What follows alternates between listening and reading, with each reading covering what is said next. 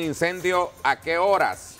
Que sea el compañero periodista Lenín Acosta. Denos detalles desde Comayagua. Vamos en vivo. Así es, muchas gracias. Muchas gracias. Buenos días, televidentes de Hable como Habla, Televisión Digital. Me acompaña el Teniente García para que nos brinde detalles así puntualmente de qué es lo que ha pasado en la cementera que está ubicada aquí en la ciudad de Comayagua con este incendio en los hornos, en este sector. Teniente, buenos días. Sí, buenos días, Lenín. Efectivamente, el día de ayer en horas de la noche fuimos informados de un incidente en una cementera aquí en la ciudad de Comayagua, por lo que tuvimos el desplazamiento de dos unidades contra incendio al sector, eh, ya que pues la situación se estaba saliendo un poco de control.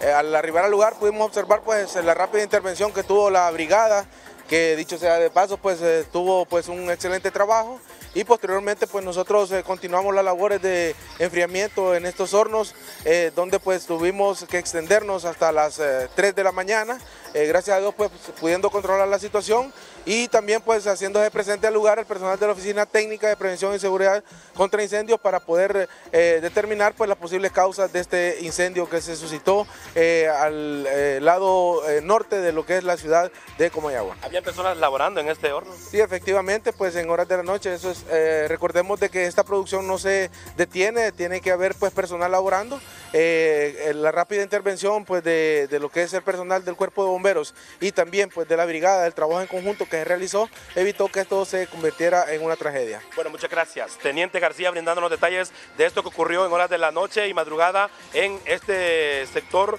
aquí en Comayagua, compañeros.